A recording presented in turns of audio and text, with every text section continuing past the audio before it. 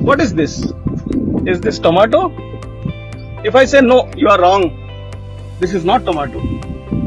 This is called brimato. Namaste, Kisan Bhaiyo. I am at Madanpalli, which is a center for excellence at Kuppam. The farmers are given these saplings. Can you say what crop is this? Does this look like uh, tomato? What is this? Is this tomato? If I say no, you are wrong. This is not tomato. This is called brimato. You know what? When a crop is grafted between brinjal and tomato, it is called brimato. If you see a close look up, there is a brinjal crop here, and there are tomato crops here. There is a brinjal crop here. But normally, what happens is, I'll explain in detail.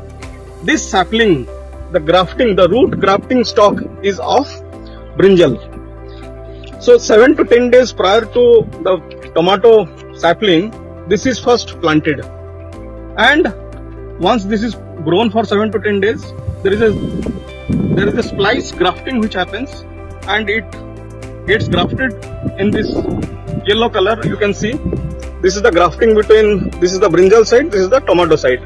Asking to a farmer what is the benefit? He said you can avoid fungus attack of any crop any crop means basically the brinjal crop.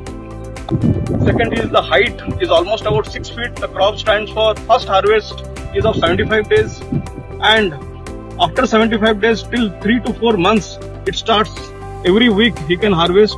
So almost you know 6 to 7 months the crop age uh, is there and overall the yield is 30 to 40 percent more. I think this is a great innovation by the scientists of israel and in indian counterpart who has brought this specific uh, sapling which is brimato for our country.